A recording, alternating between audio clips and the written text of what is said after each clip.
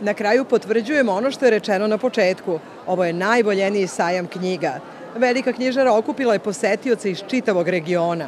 Najpozitivnija stvar sajma knjiga kao i uvek jesu lica novih knjiga i lica novih i starih čitalaca. To je uvek najbolje lice sajma. Ovaj sajam je i dalje e, za svoje čitaoce i to je najlepša stvar. Slaviti knjigu na ovaj način je zadivljujuće. Najlepše je to što je sajam obeležio 125 godina od rođenja našeg velikog pisca Miloša Crnjanskog. Najlepše za čitavca je svakako što su ruke dobili tako kapitalnu monografiju, a najlepše za pravoslavnu reč je svakako što smo dobili za tu knjigu izdavački poduhvat godine. Knjige domaćih velikana i onih koji to postaju. Prevedena dela koja potvrđuju da idemo u korak sa svetom. Prava literarna reprezentacija. Julian Barnes, Murakami, Oster, Hoseini, Cunningham, Joshua.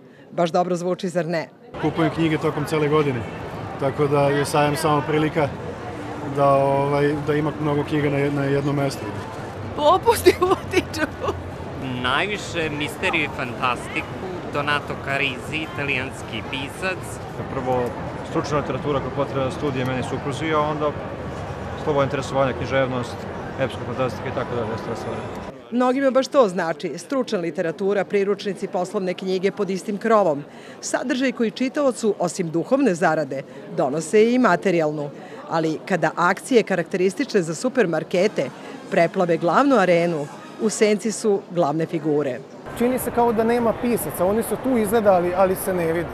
Dakle, još jednom je potvrđeno da je ovo naša najmasovnija manifestacija kulture, da su izdavači vitalni deo društva, da imamo dela domaćih pisaca koja zaslužuju pažnju, a da je oni zaslužuju više nego što je dobijaju.